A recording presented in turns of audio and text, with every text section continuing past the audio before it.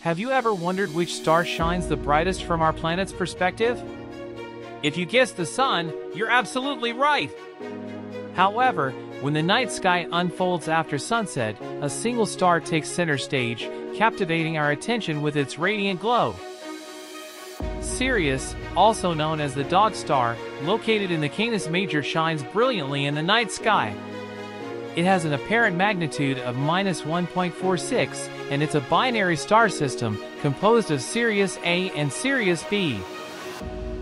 To locate Sirius, look for the prominent constellation Orion first, and then imagine a line extending downwards through Orion's belt and then you will come across Sirius, shining brightly as the dog star in the constellation Canis Major. Now you know which star shines brightly after the sun has set.